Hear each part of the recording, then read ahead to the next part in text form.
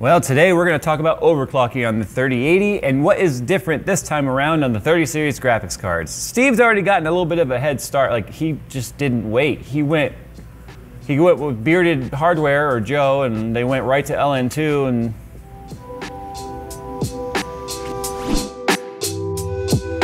Be Quiet is proud to announce the arrival of their very first digital PSU, the Dark Power Pro 12. Premium cooling with a completely new frameless fan design promote optimal air circulation, keeping the internal components as cool as possible while being as quiet as possible. The Dark Power Pro 12 allows for switching between single or multi-rail 12 volt power for better overclocking, while the 80 plus titanium certification and 10 year warranty provide long-term peace of mind. To see the full list of specs and sizes available, follow the link in the description below. So we're gonna use Port Royal for this right now, and I just wanna see where we kind of stack up. And what's funny is there's a couple of 30, well, it's funny, a lot of people said no 3080s made it out to the market, but look at this. Look at all these 3080, 3080, 3080, 3080, 30. Where'd all these people get them if the 3080s don't exist? Look, look at the countries that they're in. But it was just a paper launch, you get paper launch. Clearly a lot of people have the same paper. Anyway, when it comes to the overclocks, uh, up here in the leaderboards, you can see this is bearded hardware right here. Stepan's and with, with Steve, he had the record, but as you can see, this guy from Brazil has already beat him by about 90 points. No, uh, like 70 points, something like that. So it's gonna be interesting to see where we can get our FE card on air to overclock because that is on LN2. I don't believe they did any sort of hard mod, like voltage mod to it yet. I, I think they were just using like secret sauce BIOS and stuff that removes power limit or at least makes it ridiculously high. But it's kind of funny.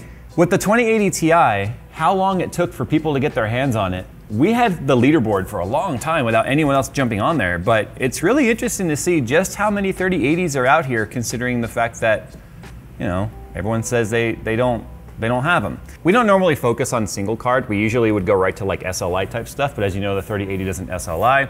So we might get a little bit creative today. Um, I might go ahead and point the air conditioner at it, because as you know, with, uh, or maybe you don't know, the boost bins and the way that that works. There's a table. It's, it's kind of like at this temperature, boost at this clock.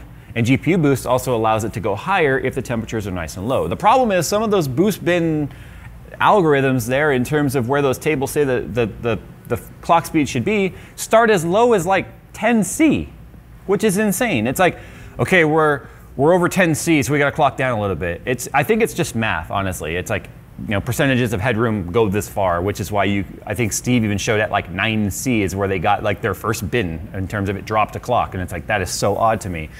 Um, let's go and talk about what you need to overclock. I, I see a lot of people ask me, whoa. So I think the first thing we need to do, honestly, I, I think we need to update because I think 4.6.2 beta 4 is an old one. But we use Afterburner for this because it's simple. You're not going to hurt your card. Um, the worst thing that's going to happen is you'll get some shutdowns or some crashes. We even talked about how to recover if you've accidentally made it so it applies an overclock at Windows startup. So every time you get to the desktop, it crashes. Um, but to, today, what we're going to do is just talk about the sliders, how they interact. Things are not the same this time around as they were before. The voltage works a little bit differently. The memory is definitely very different, and we'll talk about why that is in a sec. And then we'll just see how far we can get our FE to go and see if we can even end up maybe in the top 20 on the leaderboard. Uh, top 10 might be possible, but we'll see. You want to go into the 3D control panel uh, settings for NVIDIA, go to manage 3D settings, come down to power management mode, prefer maximum performance. Now what this is going to do is it's going to keep the core from throttling down so much. It's going to pretty much stay at its boost clock most of the time now. And then we also want to turn texture filtering quality uh, right here from high quality to high performance. This usually picks us up a couple of percent in performance when we're overclocking. These are very important settings when we're doing like our RipGN stuff. And then we want to make sure G-Sync is off. The, the core voltage slider, let's talk about this one for a second. Um, it's pretty much a carryover from the 20 series, but we're not entirely sure how this works yet. Steve did some discussion on this. It's for the most part a placebo. We believe it allows a higher voltage to the core at a lower frequency, which should help with stability if its voltage is your reason for being unstable and not just silicon quality or ASIC quality. But NVIDIA is kind of tight-lipped on how the voltage works and what this slider does. We just know this is something available to it inside of the BIOS, and this is why this unlocks when you open it up. I usually will max this out, um, and then I'll test and see if with my best scores, if lowering that does anything. More, than, more often than not, it doesn't. You can see by maxing it, nothing happened on the millivolts, but that's fine. Um, power limit, we obviously want to crank that over, but I'm going to start our first run with everything at factory. Factory fan curve, factory power limit, factory temp, all that stuff, because we obviously need to be able to measure our baseline. Now I've already done this, because of the fact that we did it with our benchmarks. But we have a different driver now, technically, from the press driver. And rumor has it, this driver is better at overclocking than the, the press driver that we had. So we're gonna go ahead and test that now. We're gonna do Port Royal. The nice thing about Port Royal here is the fact that it doesn't do a CPU test. It's straight up GPU. So that means for the first time, we'll be able to get some pretty decent scores with Ryzen CPUs, with uh, standard like Intel CPUs, like the 10, I say standard, like the 1000K, but to get on the leaderboard before, we had to use a W3175X on water at 5.1 gigahertz with six channel memory running ice water through it. That was the only way we could get on the board before because physics was a, was a part of the test, not this time around, which will make things really kind of interesting. So let's go and see what our baseline run is. So our original score in our benchmark was 11,466 when we did our uh, you know, out of the box testing. So as you can see, the driver didn't really do anything. Um, didn't expect it to, to be honest. So if we take a look at our numbers here, though, so we can kind of see where we were. The GPU usage pegged, which is perfect because it's a perfect test. It's it's synthetic. It's designed to max out this, the GPU. Um, you can see the core megahertz though bouncing around. 1965 was our high. Here's our temperature. You can see we maxed out at 73. Now here's the thing. These cards are very power limited. And so when you max out the fan, believe it or not, that's a few watts that's not available to the core. So when you're power limited, if you start going, well, I want to crank the fans because I want the core clock to go higher, that in theory works, but you'd be surprised what five extra watts can do to the, for the core speed in terms of maintaining clock speed versus having the fans be at maximum speed. So that's, that's why we get crazy with the AC and stuff. It means we can leave the fans low, have that wattage be available to the GPU, and then get a few extra um, maybe an extra 30 seconds or so per clock speed rather than having it dip down.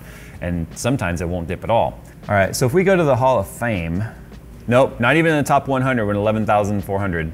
So now we need to see if we can get on the damn leaderboard. But I also want to know what these sliders do. This is educational as well as kicking off RipGN, and this is not going to be RipGN today. We're not going to get near that score because I'm not modifying my cards. So as you can see, moving the core voltage slider did absolutely nothing as expected. In fact, we still went down six points. And that's because the cooler is a little bit warmer than it was before. Um, so yeah, we're going to go ahead and max out power limit and temp limit now.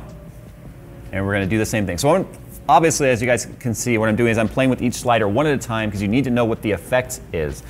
We're gonna get down to memory last because memory, believe it or not, this time is very different than, way, than the way it was before. And that's because they basically added, with the G6X, memory correct or error correcting memory, which is kind of like ECC memory for your GPU. Let's go ahead and benchmark it right now with the factory fan curve, and then we'll max out the fans so you can see how giving it more power, in this case, 15% extra power because it goes to 115. So that raises the 320 up to, I'm not sure where, math. Allowing it to draw more power means it can keep the core clocks up higher, longer, and then because of the GPU boost algorithm, if we start seeing more temperatures because of more power, the clocks are going to fall because the temps are too high. So that's where the fan curve then comes in.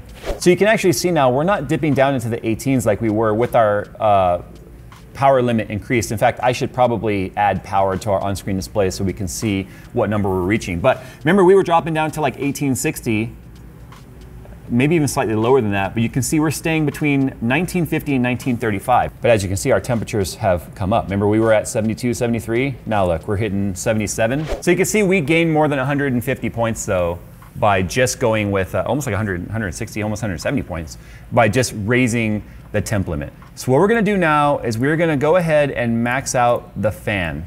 So these are functioning heat sinks right here and right here, and those were getting pretty warm. I'm gonna get, put a fan right here and point it at the face of the card. So perfect representation of although we're pulling more power, how keeping the temps down, keep the core clock up. Look at that, we're, we're scraping 2000 and sometimes hitting 2010 without even touching the core slider yet. So this right here should get us some pretty big improvement. And I honestly feel like pointing this fan at it helps because that heatsink is doing something. Yeah, and we made it into the top 100 now. And that's just by maxing out these sliders, allowing to pull more power, maxing out the fan, and pointing that fan right at it. Right at it. All right, let's go ahead and start moving the slider a little bit. So we're gonna go ahead and start moving core clock first. I'm gonna do it in 25 megahertz increments. You might be wondering, Jay, why are you starting so low? We'll use, like we showed you, well, you maybe didn't see it, but it did start the test at bumping up to 20 or 2010. And I already know from previous, previous experience, this card will not go very far above where GPU boost is already taking it. Remember, 1710 or 1740 or whatever that number is, is the actual boost clock, like the turbo clock that's ready to go with this. That, that's considered the overclock. But GPU boost pushes it farther. So we're going, we're adding that to where GPUs lands, which is now we're talking three to 400 megahertz faster than the actual boost clock that the card ships with. Uh, you gotta understand how GPU boost works. It is self overclocking, and it, all of your cards do it. Even if you've touched none of these features, you plug it in an NVIDIA graphics card that has GPU boost technology, it is self overclocking whether you realize it or not. Doesn't void its warranty or anything, it's just the way it's meant to work. Now let's see if we can get higher than that 11840. But first, I'm gonna go ahead and see where that lands us on the leaderboard. All right, so number 64. So what I wanna do is I wanna find where the core is max stable, and then I then wanna play with memory. You don't wanna move the sliders together, because then you don't know exactly which one caused the crash. Oh, 11,831.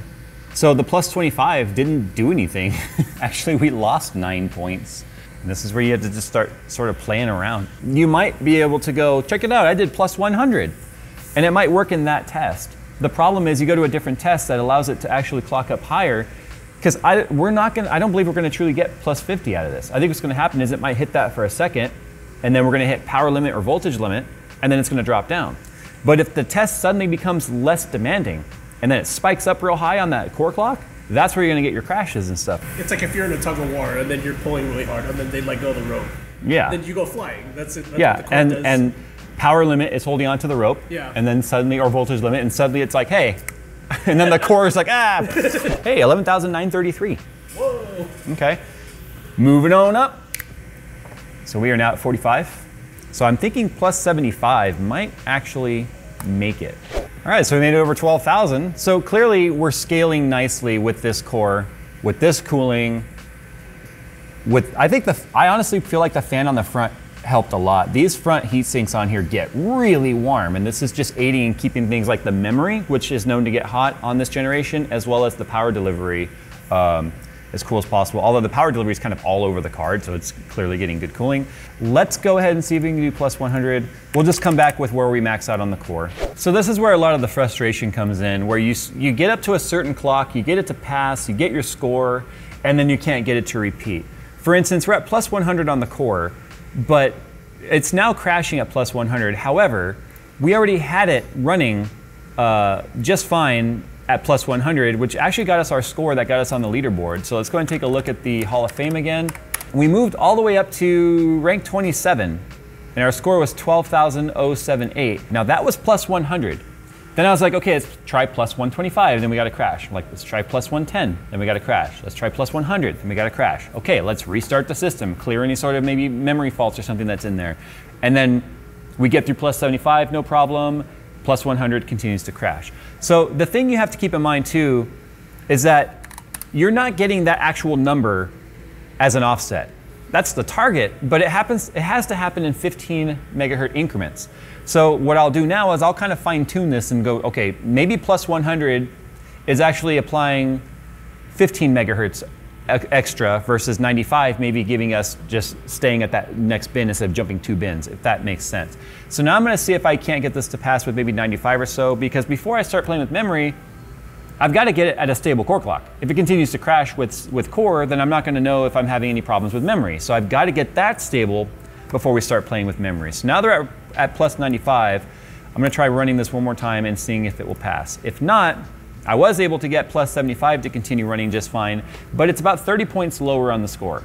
And that's not going to get us into the plus 25 because I don't think memory this time around is going to get us as much of a result as we're expecting. All right, as you can see, 12,079. That's one point higher than we got before, but we're back. And the way I actually ended up getting our plus 100 to work again, because like I said, we kept crashing, was I pulled down the core voltage percent down to 75. Actually, I pulled it down to 50%, and then we saw it work a few times and we had one crash. 75% now is getting us, or plus 75, I mean, I still don't know exactly what that is, but it's back and it's working. So now we're gonna go and play with memory. But before I do that, I'm gonna save this profile right there. And I wanna show you something with Heaven. And like I've said multiple times already, it's important to remember this is error correcting memory. So the, the way that you would know your memory was acting weird in the past is that you'd start getting the crazy artifacts, the, the triangle shapes, the pinks, the blues, the crazy lines and flickering.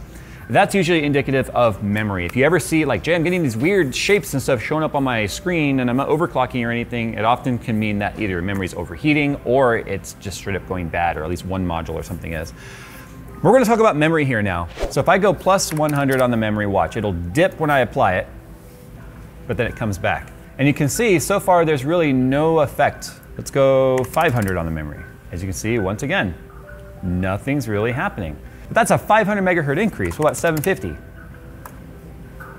Look at that, look at that dip. It dipped all the way down to 132, but look, it only came back up to 140. So you can see now we've actually got about a 5 FPS loss because although the memory is running fast, it's making errors along the way. This is typically with a card where you'd start seeing the weird flickering, the shapes, and maybe even a frozen image. Can we go plus 800? Yeah, see, look at that initial hit. But now look at where the FPS is settling. See, the higher we go with the memory, the more impact we're taking. Look at that. Now this is when normally if you weren't measuring FPS, you'd be like, wow, look, I'm running so much speed on the memory but then you realize you're actually really hurting yourself. So I'm really curious as to what Port Royal is going to do with memory speed and how it might do well though, because remember, it is it is, synth- it is a synthetic benchmark that's designed to leverage that type of uh, of performance. All right, so we're just this is chicken and mouse now. Chicken and mouse? Cat and mouse. Wow. we're having chicken for lunch. Okay, I'm sorry. You see 12,005. That's that's way lower than our score was without memory. And I had to drop the core clock again because it started crashing when we upped the memory. So I figured, I know for a fact now what we're chasing is core clock boost bin like duration at which how long we stay at that clock. So you know what that means? We got to build a thing.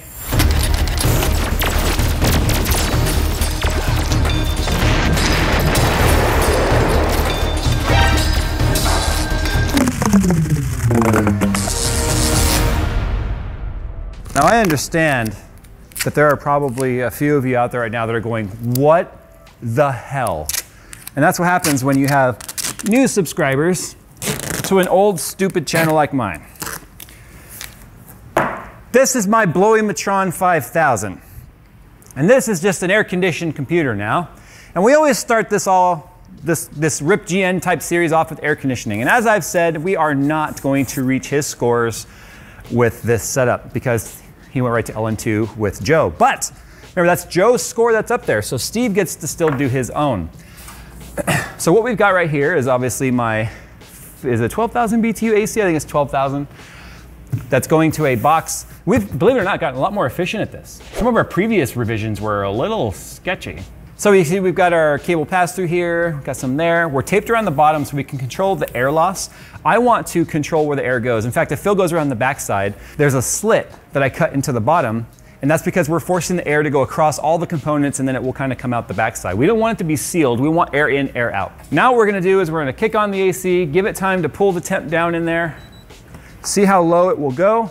Now I know a lot of you might be looking at this going, what the heck, Jay? You're taking that heat exchanger air and you're just blowing the hot air back into your studio. Well, that's fine. That's why we've got a 10 ton unit that cools off this warehouse, keeping us all nice and cool. So trust me, the warmth that comes out of here, not a problem.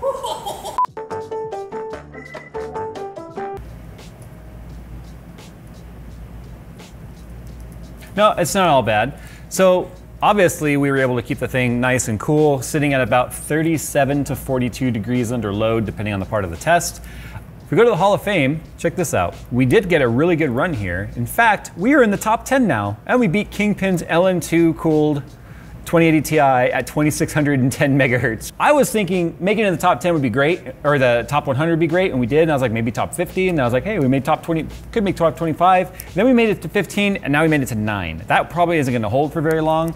But I'm not too uh, I'm not too upset with this. There's a couple of one, two, three 2080 Ti's that are still beating us on LN2, obviously. So yeah, not bad considering the fact it's an FE card with a stock BIOS, with a fan pushing on it, and then an AC blowing at it. There's nothing custom about it. Literally, it's out of the box FE stuck on there, and it's competing with cards on here that are all running custom power delivery systems, hard mod, LN2, almost, I think pretty much every single one of these other cards up here, except for maybe Lucky Noob, he's at 2100. This is all new territory for me, and uh, Rip GN's kicked off only in the sense that I'm currently on the leaderboard and Steve's personally not, but he does have an LN2 ready card, so I assume he's going to come up here and knock me out of the top 10 pretty quickly. Ball's in your court, Steve. Hey, Phil. Like, look at Phil. what?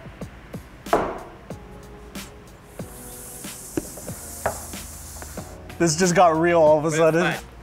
Oh. oh my god! Big Chungus Founders Edition.